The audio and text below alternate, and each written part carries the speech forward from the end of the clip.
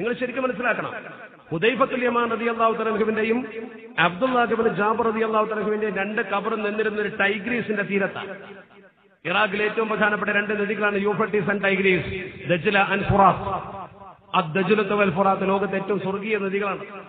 അള്ളാഹുവിന്റെ പരിശുദ്ധ പ്രവാചകർ പുകഴ്ത്തിയ നദികൾ അഷ്റഫുൽ ഖൽക്ക് മുഹമ്മദ് മുസ്തഫ സല്ലല്ലാഹു അലൈഹി ഇവിടെ നിങ്ങൾ മനസ്സിലാക്കേണ്ട ഏറ്റവും പ്രധാനപ്പെട്ട ആ രണ്ട് കബറുകൾ അവിടെ അതിന് ചരിത്രം സാക്ഷി ആ നാട്ടുകാർ സാക്ഷി ആ നാട്ടിലെ ചരിത്ര വിഭാഗവും അവിടുത്തെ ഭരണകൂടവും സാക്ഷി. അങ്ങനെ ഇരിക്കെ ഭരണാധികാരിക്ക് സ്വപ്നം. നാട്ടിലെ ചില പണ്ഡിതന്മാർക്ക് സ്വപ്നം. ഞങ്ങളുടെ കബറിലേക്ക് വെള്ളം കയറുന്നുണ്ട് മാറ്റി പാർപ്പിക്കണം. ആരാണ് ഈ പറയുന്നത്? ചിന്തിക്കണം നിങ്ങൾ ഹിജറ മുപ്പത്തിയാറിലാണ് ബഹുമാനപ്പെട്ട ഹുദൈഫ റതി മരണം. ഹിജറ മുപ്പത്തി ആറിൽ എന്ന് പറഞ്ഞാൽ ആ കബറിന് കാലഘട്ടത്തിലെ പഴക്കം പറഞ്ഞാൽ കൃത്യമായി പറഞ്ഞാൽ അവിടെ എഴുതി വെച്ചിട്ടുണ്ട് ആയിരത്തി മുന്നൂറ് കൊല്ലം. നിങ്ങൾക്ക് ഉൾക്കൊള്ളാൻ കഴിയും. പ്രയാസം ആയിരത്തി മുന്നൂറ് കൊല്ലത്തിന്റെ ശേഷമാണ് ഈ സ്വപ്നം. ഞങ്ങൾക്ക് വെള്ളം കയറുന്ന സ്ഥലത്താ സീറ്റ് കിട്ടിയിട്ടുള്ളത് മാറ്റണം എന്ന് പറഞ്ഞു. ഭരണാധികാരി വരെ സ്വപ്നം കണ്ടപ്പോൾ അവിടെ ചെന്ന് ഒരു കനാല് കീറി നോക്കി. അഥവാ ടൈഗ്രീസ് നദിക്കും ഈ കബറിനും അടുത്ത് ഒരു കനാൽ ഉണ്ടാക്കി. അപ്പൊ വെള്ളമൊന്നും വരുന്ന ലക്ഷണം കാണുന്നില്ല. എന്നിട്ടും ഈ സ്വപ്നം നിലക്കുന്നില്ല. സ്വപ്നം നിലക്കാതെ വന്നപ്പോൾ അവിടുത്തെ ഭരണാധികാരി ഉത്തരവിട്ടു കബർ തുറക്കാം. രണ്ട് മഹാന്മാരായ സ്വഹാബികളുടെ അബ്ദുല്ലാഹിബിൻ ജാബർ റതി അള്ളാഹു തലഹുവിന്റെയും ഹുദൈഫത്തുൽ യമാൻ റതി അള്ളാഹു തലഹുവിന്റെയും കബർ തുറക്കാൻ തീരുമാനിച്ചു. അങ്ങനെ കബർ തുറക്കാൻ വെച്ച ഡേറ്റ് ഒരു ഹജ്ജിന്റെ ടൈമായിരുന്നു അത് അനൗൺസ് ചെയ്തപ്പോൾ അന്ന് പ്രമുഖരായ പല പണ്ഡിതന്മാരും ഇടപെട്ടു ചെയ്യാൻ പാടില്ല. കാര്യമായ ആളുകളൊക്കെ ഹജ്ജിൽ നിൽക്കുന്ന സമയത്ത് അത് തുറന്നാൽ പലർക്കും അതിന് സാക്ഷികളാകാൻ പറ്റില്ല അതുകൊണ്ട് തൽക്കാലം നിർത്തണം. ഹജ്ജ് കഴിഞ്ഞ് വന്നിട്ടൊരു ഡേറ്റ് പിന്നെ നിശ്ചയിക്കണമെന്ന് ഗവൺമെന്റിനോട് അഭ്യർത്ഥിച്ചു. ഇറാഖി ഗവൺമെന്റ് അത് അക്സെപ്റ്റ് ചെയ്ത് സ്വീകരിച്ചു. എന്നിട്ട് അവർ പറഞ്ഞു ഡേറ്റ് മാറ്റിയിരിക്കുന്നു. അങ്ങനെ എല്ലാവർക്കും സൗകര്യമുള്ള ഇത് ആയിരത്തി തൊള്ളായിരത്തി മുപ്പത്തി ഒന്നിലാണ് ഈ സംഭവം. ആയിരത്തി തൊള്ളായിരത്തി മുപ്പത്തി ഒന്ന് ചിന്തിക്കണം. നമ്മുടെ നാട്ടിലൊക്കെ എല്ലാ ആളുകൾ ജീവിച്ചിരിപ്പുണ്ടാകും ചില തൊള്ളായിരത്തി ഇരുപത്തി ഒന്നിലൊക്കെ ജീവിച്ച ആളുകളുണ്ട് തൊള്ളായിരത്തി മുപ്പത്തി ഒന്നിൽ അത് തുറക്കാൻ തീരുമാനിച്ചു. ധാരാളം ആളുകൾ കൂടി പരസ്യമായ ഒരു ജനസമൂഹത്തിന്റെ മുമ്പിൽ വെച്ച് രണ്ട് കബറും തുറന്നു. അത് തുറന്നപ്പോഴുള്ള സംഭവത്തെക്കുറിച്ച് പ്രഗത്ഭരായ പണ്ഡിതന്മാർ രേഖപ്പെടുത്തി വെച്ചു സാക്ഷികൾ രേഖപ്പെടുത്തി വെച്ചു. കണ്ണുകളുടെ തിളക്കം പോലും നഷ്ടപ്പെട്ടിരുന്നില്ല. മുടി പോയിരുന്നില്ല.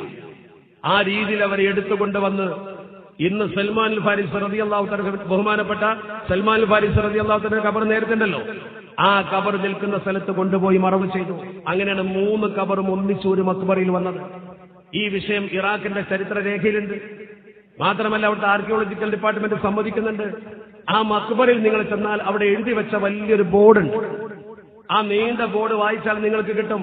അതിന്മേൽ എഴുതി വെച്ചിട്ടുണ്ട് ഈ സംഭവം ആയിരത്തി മുന്നൂറ് കൊല്ലങ്ങൾക്ക് ശേഷം ഈ രണ്ട് സ്വഹാബികളുടെ മയ്യത്ത് ടൈഗ്രീസിന്റെ തീരത്ത് നിന്ന് മാന്തിയെടുത്ത് ആദരവോടുകൂടി കൊണ്ടുവന്ന വളരെ ദൂരത്തുള്ള സൽമാൻ നദി അള്ളാഹു തർഹന്റെ മക്കബറയിൽ ആ പള്ളി മക്കബറയിൽ പ്രത്യേകമായി കബറൊരുക്കിക്കൊണ്ട് അവിടെ മറവ് ചെയ്തു. അങ്ങനെ മറവ് ചെയ്യാൻ കൊണ്ടുവരുമ്പോൾ അവിടെ എഴുതി വെച്ച ബോർഡിലെ അതേ വാചകം ഞാൻ പകർത്തിയതാണ്.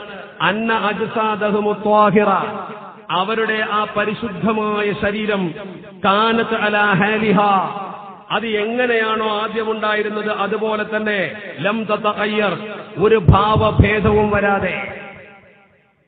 ഒരു ഭാവഭേദവും ഇല്ലാതെ നമ്മൾ കിതാബോധി പഠിക്കുന്ന ഭാഷയിൽ പകർച്ചയാവാതെ വേണമെന്നേ മനസ്സിലാവുമല്ലോ കൊടശ്ശേരിക്കാൻ പറ്റില്ല കൊടശ്ശേരി സാഹിത്യം തന്നെ പറയണമെന്ന് വാശി കൊടുക്കുന്നതാണ് അള്ളാഹു ദീർഘായുസ് കൊടുക്കട്ടെ.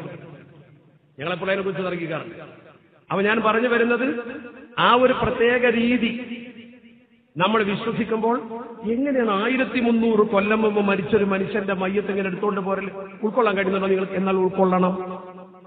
എന്നാൽ അന്ധവിശ്വാസം ഒന്നും നിങ്ങളെ തലയിൽ കയറേണ്ട. അള്ളാഹു കഴിവ് കൊടുത്താൽ അതും അതിലപ്പുറമൊക്കെ സംഭവിക്കും. കാരണം അള്ളാഹുവിന്റെ ഔലിയാക്കൾ അങ്ങനെയാണ്. അവർ അള്ളാഹുവിന്റെ പരിശുദ്ധ ഖുർആാനും തിരുസുന്നത്തും കയ്യിൽ പിടിച്ച് ജീവിച്ച ആൾക്കാരാണ്. രണ്ട് കയ്യിലും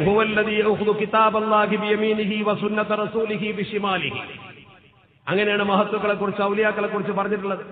സൂഫി പണ്ഡിതം അള്ളാഹുവിന്റെ പരിശുദ്ധ ഗ്രന്ഥത്തെ വലത് ബിശിമാലിഹി അള്ളാഹുവിന്റെ തിരുതൂരിന്റെ സുന്നത്തിന് ഇടത് കൈയിലും പിടിച്ചിട്ട് ഒരു കണ്ണുകൊണ്ട് സ്വർഗത്തിലേക്കും ഒരു കണ്ണുകൊണ്ട് നരകത്തിലേക്കും അവർ നോക്കും എന്ന് പറഞ്ഞാൽ അതിന്റെ നേരെ അർത്ഥം ഹൗഫ് റജാന്റെ ഇടയിൽ ജീവിക്കും.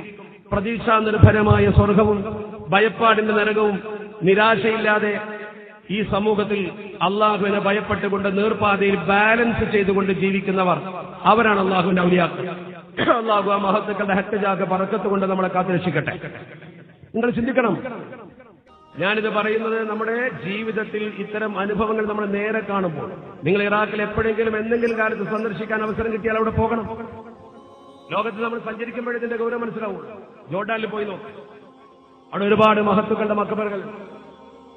അള്ളാഹുവിന്റെ പരിശുദ്ധ ദീനു വേണ്ടി പടവെട്ടി മൂത്തത്തിൽ മരിച്ചുപോയ മൂന്ന് മഹത്തുക്കളുടെ ചരിത്ര പ്രസിദ്ധരായ സ്വഹാബത്തിന്റെ കബറുകൾ അവിടെയാണ് മഹാനായ ജാഫർ അബി താലിബ് റതി അള്ളാഹു തർഹിന്റെ മക്കബറുണ്ട് കെട്ടിപ്പൊക്കിയിട്ട് വലിയ ഉയരത്തിൽ കേരളത്തിൽ അങ്ങനെ ഒരു മക്കബറ ഞാൻ കണ്ടിട്ടില്ല.